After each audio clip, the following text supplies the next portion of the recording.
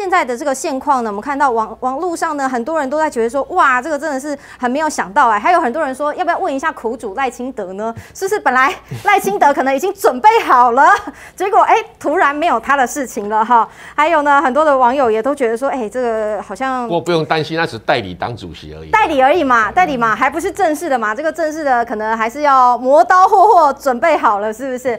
好，在这边也要持续的请教红伟姐，就是说关于这样子一个消息出来，然后除此之外呢？就是包含了，就是说，呃，现在这次选举看来，民进党过去打这种抗中保台，认为说是必胜牌啊，就这一次呢，直接被这个仇恨值给拉趴了、拉垮了。再加上说呢，这个我们看到民进党一直在喊着什么五星市政啊，就是现在看起来最大讽刺嘛，都破功了。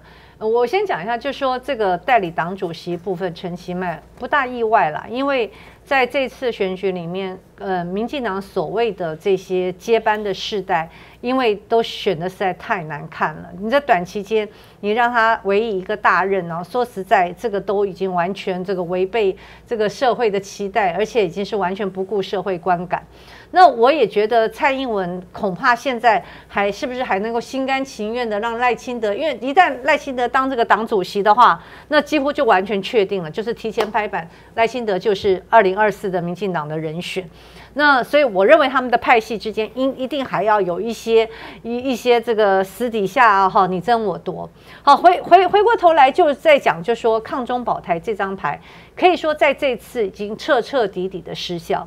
所以我一直在想说，大家记不记得在嗯选前，蔡英文甚至把这场选举整个的拉高到说，哎。如果哈，我们的选举结果要给国外哈这些我们的外国的这些呃盟盟友什么样的讯息，对不对？好像一副告诉你，假使民进党输掉的话，那么人呃外国人可能会以为说，哦，台湾现在都要去亲中了，对不对？通过接受中共，那这种牌说实在，真的实在是听不下去嘛。那所以我想请问一下蔡英文，你现在败成这个样子，是不是代表台湾全体都在亲亲中了？是可以这样解释吗？当然不能这样解释。那另外一个一个，我其实我也很好奇，那美国怎么看蔡英文？美国怎么看这次民进党的这个挫败？哦，你你怎么怎么解读？怎么怎么去去来解释？那所以我觉得在这一次里面，抗中保台为什么彻底的失效？是因为你们把这个牌打得太 low、太腐烂，而且事实上这是太没有尺度。你想想看。只要敢对你民进党的政策有任何质疑的，一定以中共同路人称之，一定是这样子。你你你，比如说你包含你连我我我记记得选前有几件事情让我印象特别深刻，一个是这个慈济，大家都知道啊，被那个周玉蔻讲说是中共自己人，他简直觉得说你你你是疯掉了吗？今天在讲你的疫苗有没有挡疫苗变成中共自己人，还有一个就是。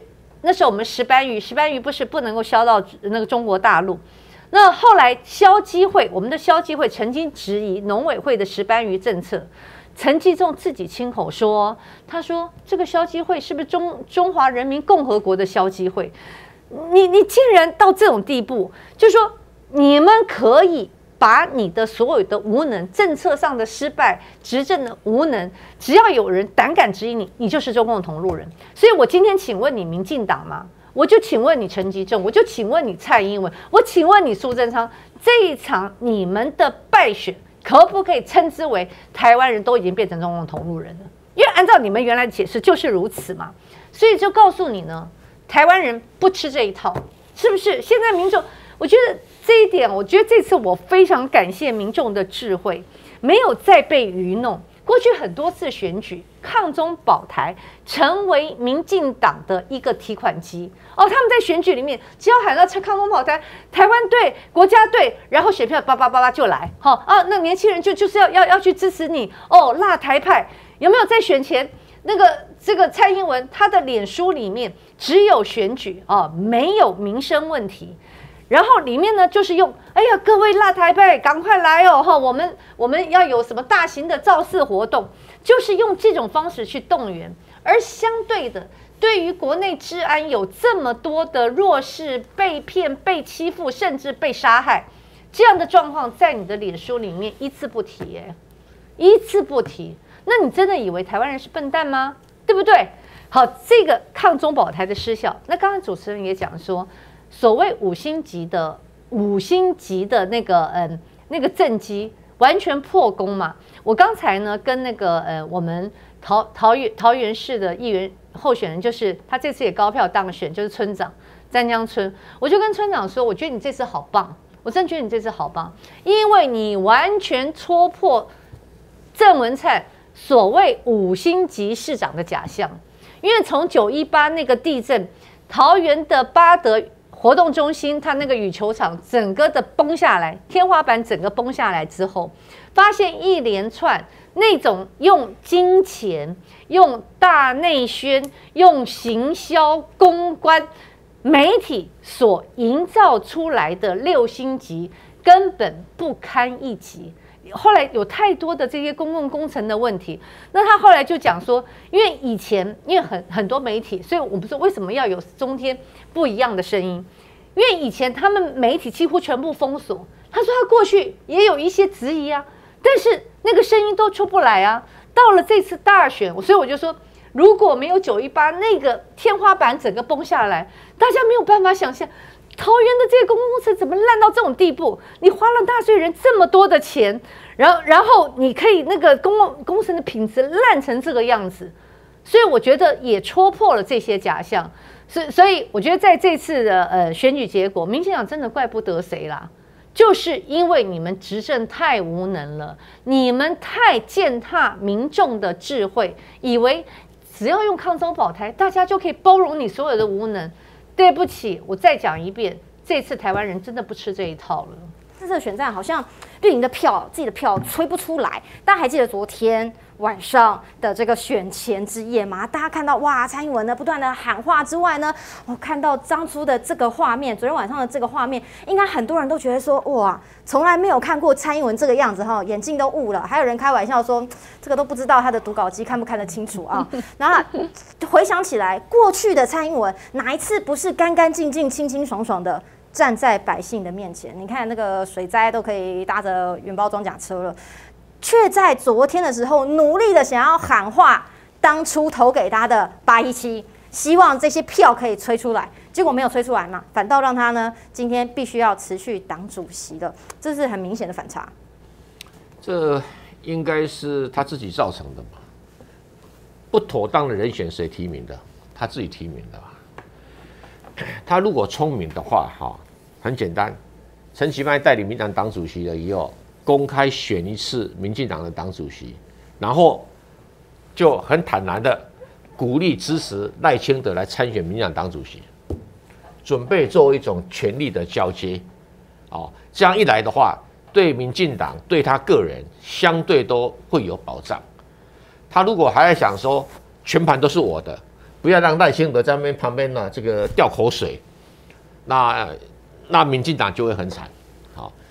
我不晓得他会不会想到这一点，啊，现在是他扶持这个赖清德罪。如果他再什么，像刚才那个我们老苏县长言下之意，他可能还会还会拿一些一些什么一些呃一些很难看的东西啊，去去去阻挡赖赖清德的话，哈，那这真的有过笨，有过笨。你有第二个人选嘛？你明有第二个人选跟赖清德比吗？我我现在看不出来呀，有吗？没有吧？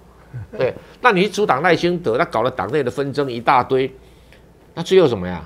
就跟你这一次提名不当人选一样，你还想这个时候你还想拉陈建仁来挡赖清德，你这个有问题哎，这有问题哈。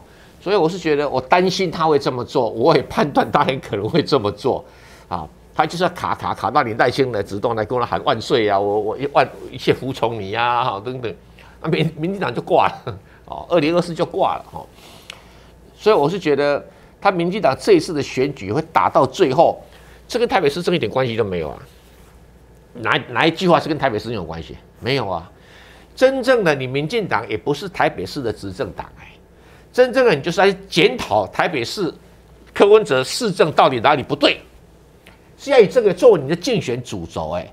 你看吧，这个。林佳龙不是在检讨这个侯友谊的市政哪里不对，检讨不出来嘛？然后蔡其昌不是在检讨卢秀燕哪里不对，检讨不出来嘛？还而且好几次还被回力标，说你乱讲的，讲讲赖蔡蔡其昌还赶快道歉，对不对？那一样道理啊、在桃园，我们国民党的选战策略就很清楚啦，我就检检讨你这个郑文灿到底做的好不好嘛，到底做的对不对嘛？哦，这个这是一个正确的一个做法哦。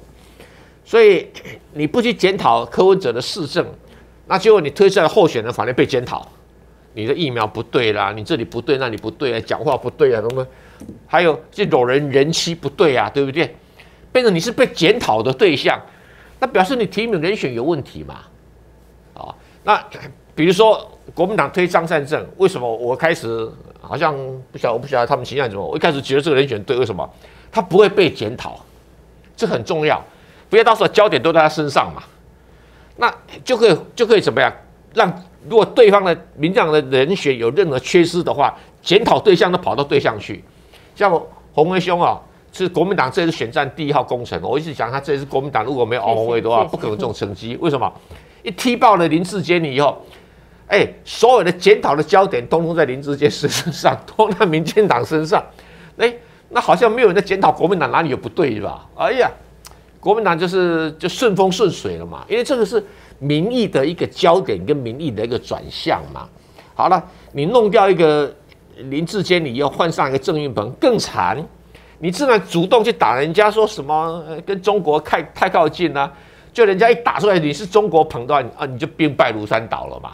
哦，所以民进党的选战策略一开始就蔡英文自己出了问题，他他实在是自己是可能是一个很好的候选人，但是不要忘记哦，很多很多政治人搞不清楚，有些人就明明适合当男女主角啊，有些人适合当导演啊，偏偏那个当导演的出来当男男主角，那能看吗？我举个例子，李安很会当导演，他公认的哦，金金像奖哦很好当导演。李安如果出来演梁朝伟那一部那个角色，谁会看啊？没有人看的啦，对不对？所以一样道理啊，你今天是蔡英文自己要当，他你明明不适合当导演的角色，你应该当导演，然后这些候选人乱摆一通，你自己没有那么丰富的这种这种选战的那种规划的经验，好吧？你就以为你演演两次你就很了不起了，就像有些男主角哦，国外也有这种例子啊，嚯、自己最佳男主角哦，金像奖哦，也也得了好几奖，好像我自己拍电影就拍乱七八糟，你就不导演那种咖嘛，那蔡英文就这样子啊，他自己是演员的角色，想当导演，就你看弄乱七八糟，最后的选战的焦点完全失焦，只能说，哎呀，各位啊，要买票房都要看我导演的脸色来来看的，你男女主角那么丑，谁去看你导演演什么东西呀、这是一个很关键的一个问题。那他如果没有把权力交给这个赖清德的这种心理的打算的话，那民进党未来的时间会走得更凄惨。嗯海皇 XO 干贝酱这一罐很厉害，很威，好吗？它的蛋白质呢是鸡鸭牛啊虾的三倍，这么好的干贝酱要去哪里买？是用上我们的中天快点购的电商的网站哈，搜寻你就可以找到喽。好，希望大家爱用哦。